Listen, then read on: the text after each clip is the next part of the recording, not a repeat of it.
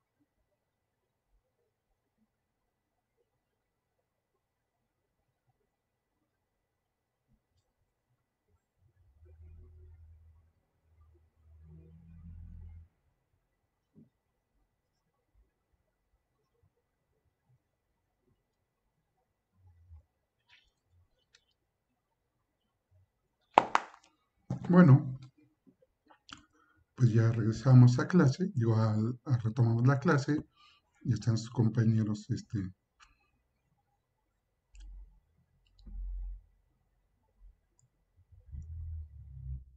Ok, estamos de regreso.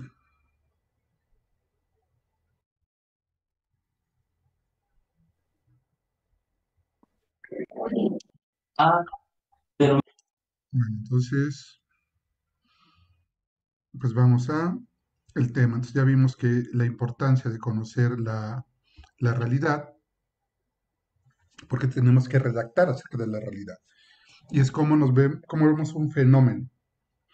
El, ejemplo ya clásico que siempre les pongo es de, por ejemplo, estos movimientos, estos movimientos este, sociales, como lo puede ser este, las marchas feministas.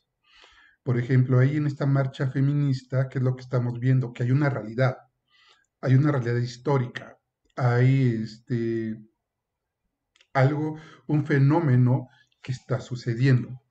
Ah, pero en ese fenómeno hay varias lecturas de esta realidad. Si es cierto que están matando mujeres, si es cierto que esto que el otro, si es cierto que aquello, ¿no?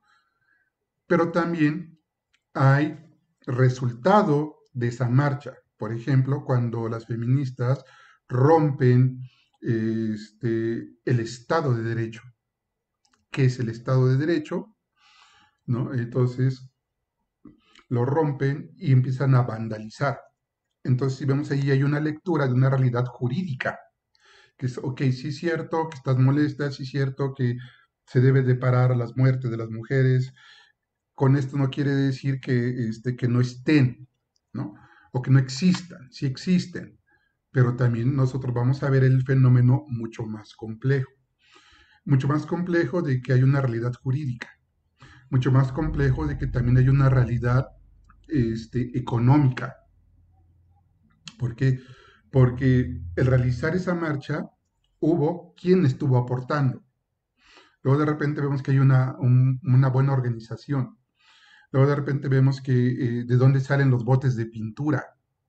Luego, cuando observamos más, vemos que hay gente que hasta lleva los botes de pintura, eh, lata, y se las da a las feministas. Ahora, ¿quién está aportando? Esos botes no son gratis. ¿Qué finalidad hay? tras ese movimiento. Ahora, también, ¿cuánto le está costando al Estado? Al Estado le está costando algo el incluso cuidarlas de ellas mismas, ¿no? Les pone este, policías mujeres. ¿Cuánto cuesta este, su seguridad? Eh, es una realidad económica, ¿no? ¿Cuánto cuesta los destrozos que dejaron el ir a despintar, el daño que le hicieron a las estatuas, a todo, vaya, a todo lo que hicieron. Cuánta pérdida económica hubo de los locales que tuvieron que cerrar para que no fueran vandalizados.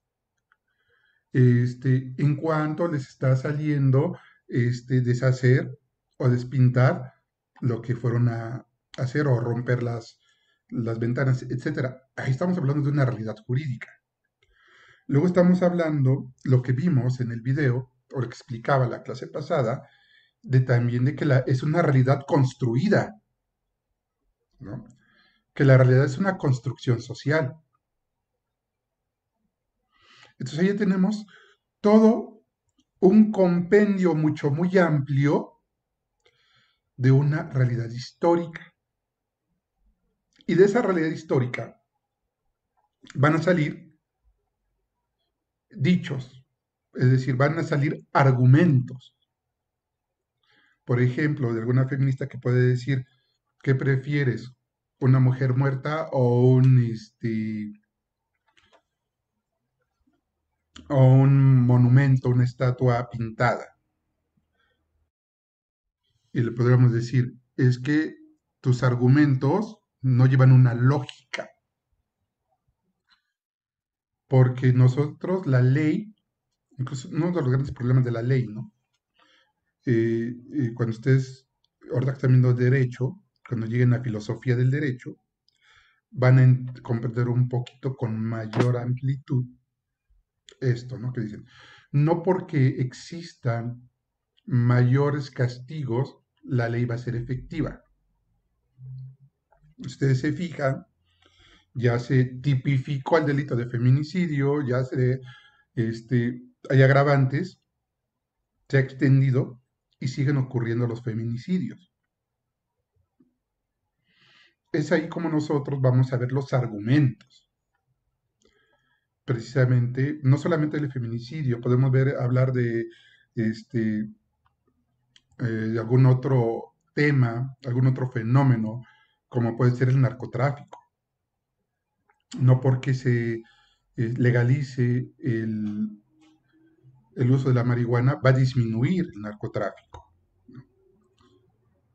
Eh, es como nosotros vamos a ver esos argumentos y tener una noción mucho más amplia de la realidad, no quedarnos con una visión tan corta, es por eso que vimos de la realidad y es por eso que vamos a ver lo de la dialéctica y este, el pensamiento crítico.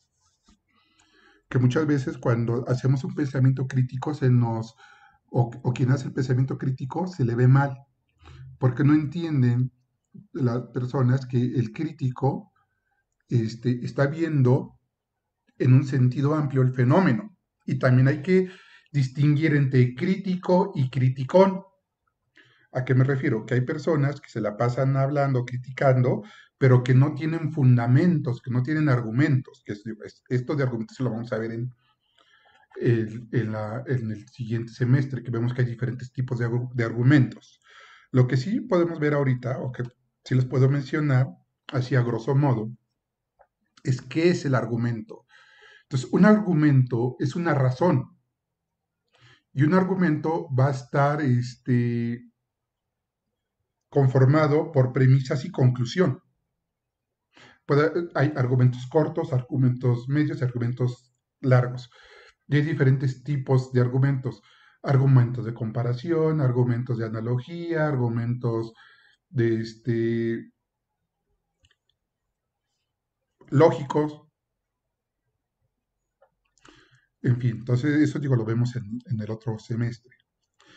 Pero una vez sabiendo que es un argumento, que es una razón, que tiene validez, que tiene lógica, porque si el argumento no tiene validez y no tiene lógica, se vuelve una falacia, que es muy diferente una mentira a una falacia. Una falacia es un argumento que carece dentro de su construcción y que lo vuelve, no mentira, lo vuelve inválido. Era como el, ejemplo que les ponía, que yo les decía, que muchas feministas decían, es que ¿qué prefieres? ¿Una mujer un, este, una pared pintada a una mujer muerta. Entonces, ¿cómo les podremos eh, responder?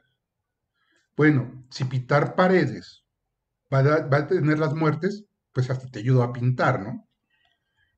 Dirás, no, eso será una argumentación no válida. Porque sí pueden pintar, pueden destruir eh, todo lo que quieran, las muertes van a ir siguiendo, este, se van a seguir haciendo. Esto va mucho más allá de una expresión. Y es cuando nosotros podemos entonces tener un pensamiento crítico y dar argumentos y contraargumentar, que este es el tema de ahorita. Lo que yo hice ahorita con, este supuesto de esta feminista que dice es que, ¿qué prefieres? ¿Una pared pintada a una mujer muerta? Yo le podría contraargumentar, como lo hice hace rato. ¿Sabes que Si pintar paredes va a evitar muertes, tráeme una caja y tráeme un batallón y, y, este, y pintamos, ¿no? Entonces ahí podemos contraargumentar y decirle, ¿sabes qué? A lo mejor tu forma de expresión la puede entender, pero no es la correcta. ¿Por qué? Porque tú al pintar y destruir, al gobierno le está costando dinero volver a pintar y volver a reconstruir. Dinero que pudiera utilizar para prevención del delito o para las investigaciones de los delitos. Entonces, lo que estás haciendo con este tipo de actos es mermar la economía del Estado. Por eso veíamos que hay una realidad económica. Ya cuando tenemos esta visión crítica y que sabemos leer la realidad, podemos ver desde un panorama mucho más amplio que simplemente dejarnos llevar. Entonces, la contraargumentación es una estrategia argumentativa que consiste en anticipar posibles objeciones a la tesis que se está defendiendo y contestarlas con el fin de fortalecer el argumento que se presenta en un texto. Por ejemplo, una contraargumentación, yo la puedo, eh, yo tengo que eh, verla o visualizarla si yo estoy haciendo, por ejemplo, una tesis, y yo en la tesis, vamos a suponer que mi tema de tesis sea este, los, la, ineficaz, las normas ineficaces que existen en el sistema jurídico. Vamos a suponer que ese sea mi tema de tesis. Entonces yo puedo tengo que ver cuál es la posible contraargumentación, es decir, con qué me pueden atacar. Entonces, decir, bueno, pues la norma es efectiva. Y yo estoy diciendo, bueno, sí, hay una inefectividad de la norma y yo les podría contrarrestar, o sea, dar un contraargumento, al, un argumento al contraargumento que me están diciendo. Porque alguien podría decir, bueno, es que la norma existe, la norma está positivada, y si la norma, se, y si la norma está positivada, se debe de cumplir y es efectiva y yo le podría eh, argumentar en este contraargumento, ¿sabes qué? Sí, pero el hecho de que la norma exista no quiere decir o no implica que la gente la conozca.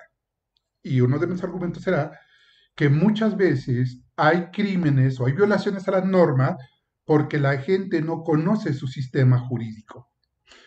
En el caso de los feminicidios, yo podría decir, no porque esté este, elevada la sanción, quiere decir que sea efectiva. Porque aquel que va a hacer cometer el feminicidio, es más, hasta incluso desconoce que, está tipificado el delito de feminicidio.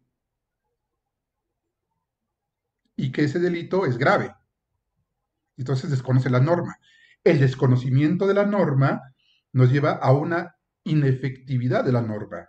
Entonces eso sería un argumento en contra de la argumentación que alguien me pudiera hacer. Por eso es necesario saber qué es un argumento y qué es una contraargumentación. Ahorita lo vamos a ver muy de forma muy simple. Ya en el otro lo vamos a ver ya a profundidad. Entonces, ¿cuál es la contraargumentación de un texto? Hay reglas estrictas sobre el lugar que debe ocupar la contraargumentación dentro de un texto. Esto depende del tema y se aborda y de las necesidades e intenciones del autor. Sin embargo, si se pueden dar, se pueden dar guías generales sobre qué parte del texto se deben discutir posibles objeciones a la tesis. eh, lo que les digo, no todos los, todos los libros, todos los textos, todos los autores son debatibles. Ya cuando entramos en ese sistema crítico, yo pudiera decirles, a ver, lo que me está diciendo este autor en este libro, ah, probablemente tenga algo de, razón, pero, y aquí viene el pero, es debatible. ¿Esto qué quiere decir? Que a lo mejor, que, puede decir que esto no sea falso, pero que está sujeto al escrutinio y a debatir. Entonces yo le podría contraargumentar al, al, este, al autor de este libro. Y es lo que debemos hacer con el pensamiento crítico. Porque luego estudiamos la universidad y luego de repente todo lo que leemos lo damos como una verdad absoluta. Y resulta que luego nos están dando teorías que son del UF, ¿no? del, del año de la canica. O hay teorías que eh, son aplicables en ciertas partes.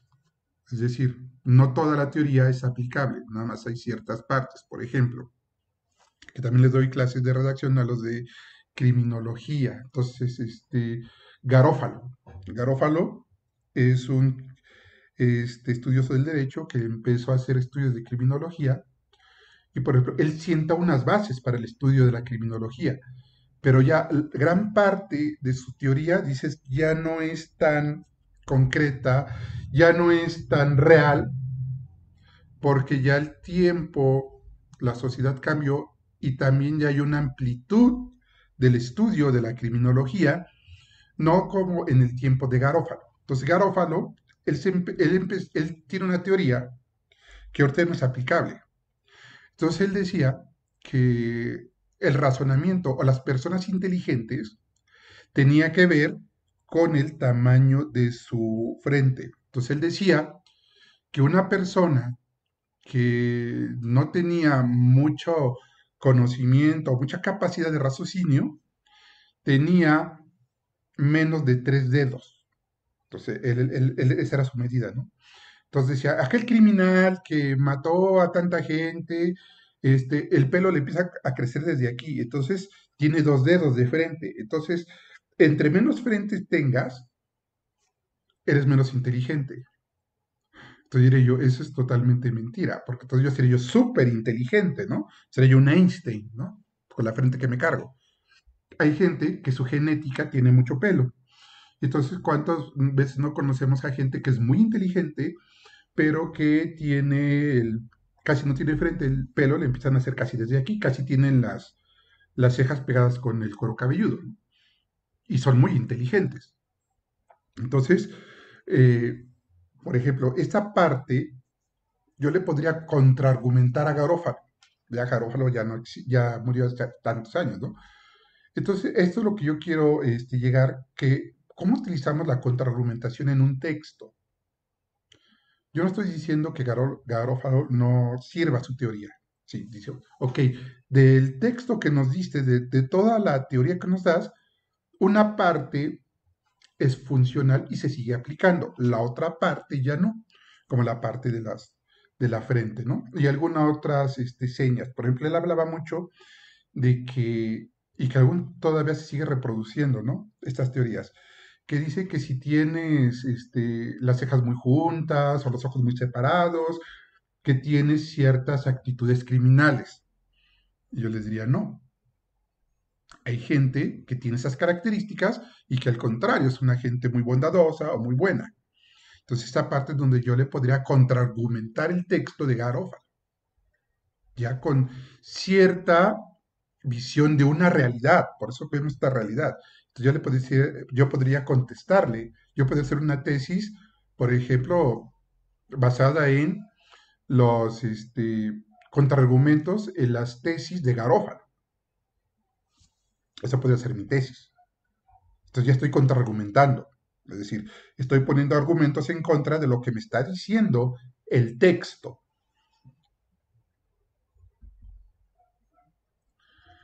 Otro de los puntos es el contraargumento. Podría ser una posición número uno, el argumento. Por ejemplo, los retóricos antiguos consideraban que la contraargumentación debe presentarse después de la exposición de la evidencia a favor de la tesis principal. Una razón para adoptar esta disposición es que podría facilitar la labor de convencer a la audiencia sobre la debilidad de las objeciones. ¿A qué se refiere esto? Que para poder nosotros tener una contraargumentación más efectiva no es interrumpir hasta a nuestro contrincante, es dejarlo que se exprese, es estar atento a los argumentos que nos está diciendo para ver cuál es de, lo que, los argumentos que me está dando, cuál es el argumento más débil y atacar ese argumento débil. Y cuando yo ataco ese argumento débil, puedo hacer que flaquee, para llamarlo de esta manera metafórica, y tirarle toda su argumentación. Bueno, esto digo que lo vemos en... Hay un libro que yo les dejo leer, que se llaman las bases de la argumentación. Este, y ahí vemos todas estas técnicas. Luego vamos a ver este, que en este mismo sentido el contraargumento, por otro lado, si la, la, mayor parte de la audiencia está convencida de antemano de la verdad, de algunas posiciones contrarias a la que se quiere defender, puede ser aconsejable refutar dichas posiciones antes de argumentar a favor de la propia. Es decir, también hay otra técnica que igual la vemos en el próximo semestre, que digo, a ver, tomas el argumento de la otra persona y lo vas modificando y, y entonces haces ver que su argumento tiene ciertas deficiencias y por lo tanto desecha los otros argumentos que está diciendo la persona. Entonces, todas las razones. Eh, por ejemplo, cuando luego hay estas eh, pseudo feministas, digo, no estoy en contra del feminismo, estoy en contra de las personas que utilizan el feminismo para desvirtuar incluso el mismo movimiento. Y es por eso que a veces este, tengo mucha discusión con las pseudo feministas, que luego ni siquiera saben qué es el feminismo. Entonces de repente, luego cuando tengo y luego ni siquiera yo busco el conflicto, luego de repente llegan por sí solas, ¿no? O luego yo hago una aseveración con un argumento fuerte y a lo mejor eso les incomoda. Y entonces empiezan a atacar. Entonces cuando ellas empiezan a atacar, yo me quedo callado y las escucho. Y empiezo a ver sus argumentos. Y, cuando ellos empiezan a darme sus explicaciones, yo empiezo a buscar los argumentos y veo incluso donde no hay lógica entre el primer argumento que me dijeron y el tercero que me dijeron. Y entonces de repente, una vez que los ubico, los uno y los traigo y se los regreso y las desarmo. Esa es una forma de, este, y, y eso es un ejemplo que estoy poniendo, ¿no? Esto lo podemos ver con alguien que habla de política, con alguien que habla de religión, con alguien que habla de, hasta incluso de cualquier tema, este, digamos, muy coloquial. No sirve para todo. Esto de ver la realidad de manera amplitud, con amplitud y de saber que existen argumentos y que existen contraargumentos. Entonces vamos a ver que nos va a llevar a un tema que se llama la antítesis. Entonces vamos a ver que el término antítesis indica oposición o contrariedad de afirmaciones. Ojo, no confundir la antítesis con el contraargumento. También se refiere a una persona o cosa que posee cualidades opuestas o presenta lo contrario a otra. Por ejemplo, ¿no? Eh, decían que Hitler era el anticristo, o sea, era la antítesis de Cristo. Si Cristo era bondad, Hitler era la maldad, entonces era la antítesis. Por lo que no hay que confundirlo contra el contra algún argumento. Y se puede ser una persona o puede ser también una cosa. Por ejemplo, podríamos decir que la, este, vamos a suponer que esto fuera una iPad, y por lo cual leemos. Entonces, podemos decir que esto sería la antítesis del libro físico. Es lo opuesto a. Entonces, la palabra antítesis se origina del griego antitesis, que significa contraposición u oposición y está compuesta por las raíces anti, que expresa contra, y tesis, que significa colocación o posicionamiento. Entonces, una vez que ya vimos que hay un contraargumento y que hay una, eh, un concepto que se llama antítesis, vamos a entrar al pensamiento o la actitud crítica. Entonces, ¿qué es la actitud crítica? La actitud crítica,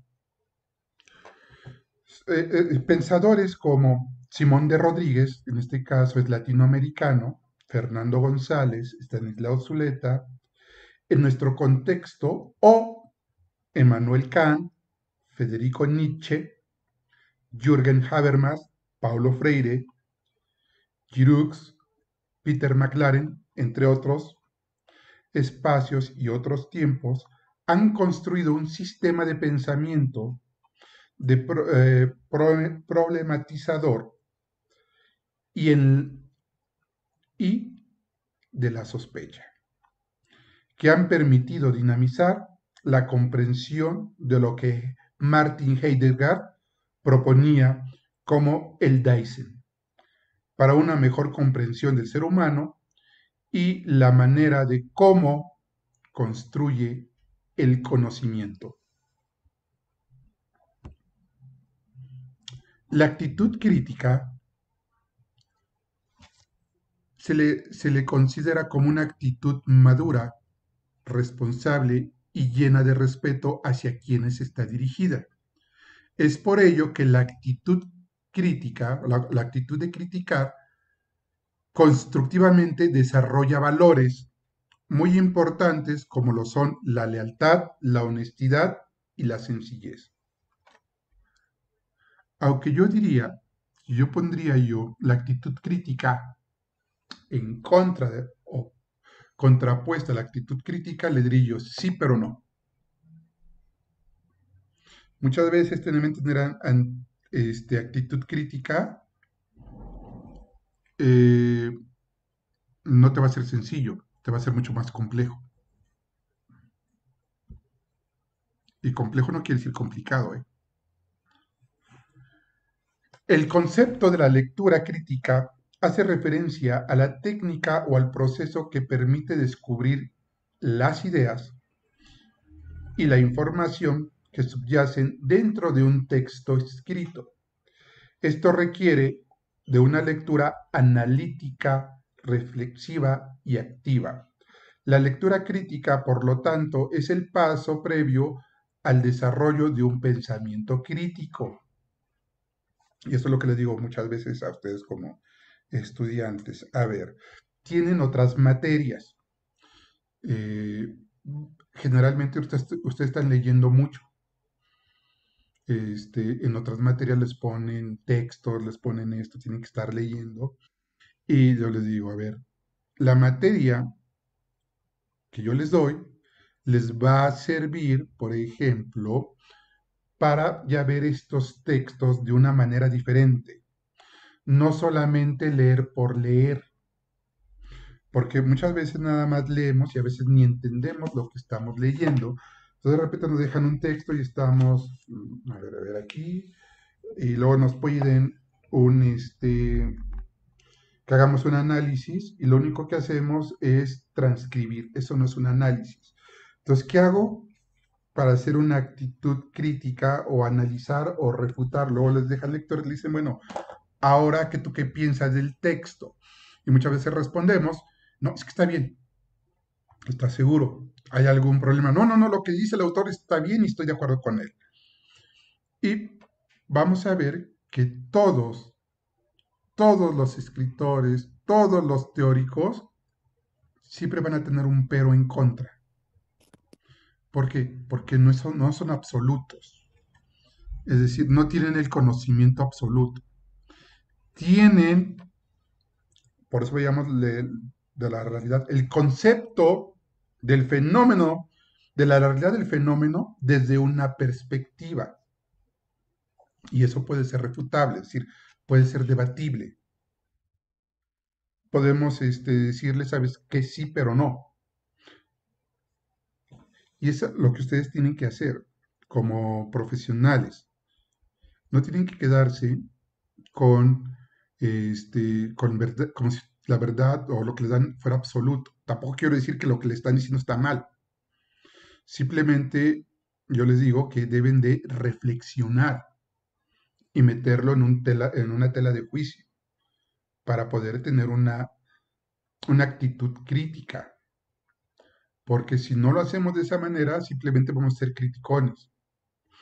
Por ejemplo, luego les dejan que lo que ahora está pasando con los migrantes, ¿no? Los migrantes de Tahití, de Haití, perdón, los migrantes de Haití. Y luego de repente decimos, ah, que son personas que deben de matarlos, o etcétera, ¿no? O, escuchamos a personas que dicen eso.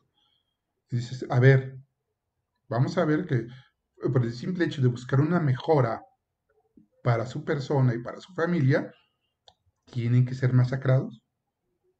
Y entonces ya vemos el, el fenómeno de una manera más amplia. Entonces, un comentario crítico es un trabajo, generalmente escrito, que, se que realiza una persona que ha leído un texto y extrae diversos puntos de vista sobre la cuestión o sobre el tema, y además valora cómo es la información recibida, como por ejemplo, cuál es la intención del autor, cómo es el lenguaje empleado por el autor, cuál es la ideología que pretende el autor y qué argumentos me está presentando. Por ejemplo, luego dicen este, estos libros de superación personal, ¿no? Hay uno que dice que las mujeres, las mujeres son de Venus y los hombres son de Marte. Y yo le digo, ah, vamos a criticar ese, e, e, esa, este, ese libro. ¿Por qué asevera? ¿Cuáles son los argumentos? ¿Realmente son válidos? ¿Se está basando en una teoría en que realmente somos dos mundos diferentes? O, como ella lo pone, como lo pone esta autora, autor, que nos dice, por eso no nos entendemos porque los, las mujeres son de Venus y los hombres son de Marte. ¿No acaso convivimos en un mismo espacio? ¿No acaso este, somos seres humanos? Lo que pasa es que nos hace diferentes las ideologías, la percepción de la realidad es lo que nos hace diferente, lo que veíamos de la, realidad como construcción social. A la mujer de chiquita se le dijo que tiene que jugar con muñecas y no, no es mujer. Al hombre se le dijo que el hombre tiene que jugar con carros y no jugar con muñecas porque entonces deja de ser hombre. Entonces, ¿qué pasa con estas otras expresiones? Ya no me refiero a la, a la interacción sexual, simplemente a la forma de ver el mundo. Hay intermedios, hay grises. Entonces yo le diría a esta autora, a este autor, entonces, ¿de dónde vienen estas personas que tienen un matiz diferente? ¿De la luna? Entonces ahí yo estaría haciendo una crítica eh, de la información recibida estaría haciendo también el lenguaje que está hablando y analizando los conceptos que está utilizando y viendo que hay una ideología. ¿Y qué pretende con esto el autor? ¿No? ¿Y qué argumentos me está presentando? Entonces, cuando, cuando les dejen sus otros profesores algún trabajo, algún proyecto, todo lo que vemos aquí lo tienen que aplicar esto va concatenado, esta materia va concatenada con todo, es decir, va unida con sus demás materias. ¿Qué es lo que hacemos realmente eh, a veces cuando somos estudiantes? Como que vamos separando, vamos diciendo, ah, esta materia es de lo que nos lo, lo pongo aquí, es casi casi como decir, la materia que estamos viendo con tal profesor, lo que nos está explicando lo meto aquí y lo olvido por otra parte y no. Todas las materias, si ustedes tienen en cuenta derecho, este, en fin, todas van interrelacionadas, es decir, van concatenadas y van en apoyo en función con las demás. Entonces hay que quitarnos esa idea de que solamente lo de derecho es para derecho y a lo mejor no lo voy a utilizar.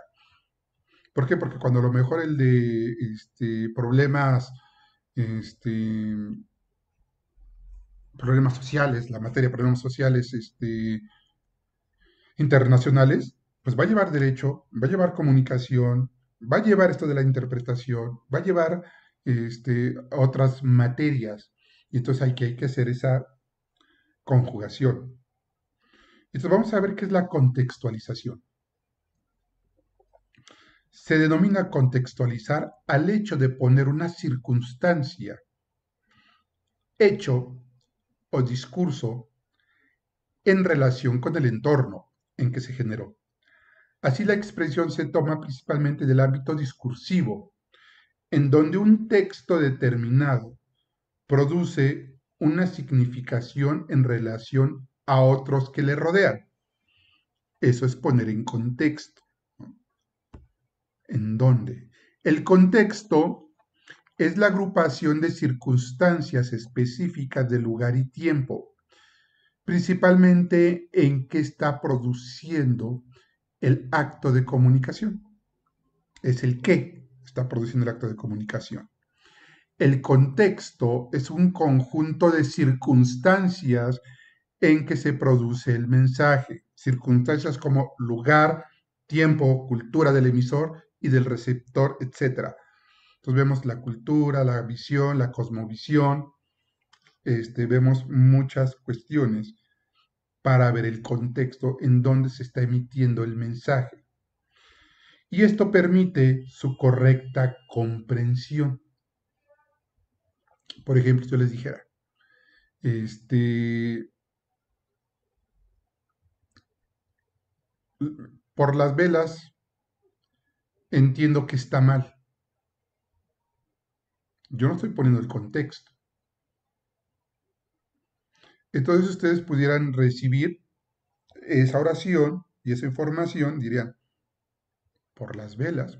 Está hablando o de una iglesia o está hablando de un pastel. Y a lo mejor lo que yo estoy hablando es de un barco con velas que se llaman fragata. Estoy hablando de una fragata.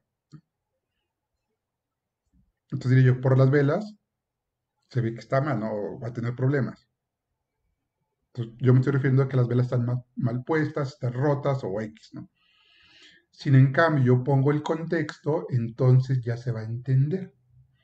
Entonces, también hay que, muchas veces, el contexto no está explicado, está inferido. Entonces, vamos a ver que cuando el contexto está inferido, es decir, está sugerido, tenemos que ser muy cuidadosos, si es que estamos en un texto, en leer lo que se llama leer entre líneas. O si estamos en una plática, nosotros podemos interrumpir o cuando termine decirle, ¿me puedes decir el contexto o de qué estás hablando? Un ejemplo. Eh, y que me acaba de pasar, ¿no? Eh, eh, ahora que fueron este, fueron a tomarse los de... Ustedes fueron, ¿no? Ustedes sí se fueron a tomar este, los, la foto a la escuela, que yo también tuve que ir. Pues fui y estaba platicando con un alumno de avanzado que fue a hacer unos trámites. Entonces, este, me empieza a platicar de una cosa, luego me sale con otra y me hablaba de acerca de, de un compañero y luego de repente me hablaba de un niño yo le digo, a ver, ¿qué, relación tiene? Dice, ah, no, lo que pasa es que este compañero, que esto que le digo, a ver, a ver, ponme el contexto, a ver, vámonos por parte. Primero dime qué pasó con tu compañero. Dice, ah, fíjate que se acuerda del compañero fulano de tal, pues que ya se casó, que esto que el otro. Ah, ok, bueno, ya, ya lo entendí. ¿Y ahora qué tiene que ver el niño? Ah, lo que pasa es que ese compañero este, tiene, tuvo una eh, relación con cierta familia y esa familia este, abandonó un niño, etcétera, etcétera, y hay problemas así.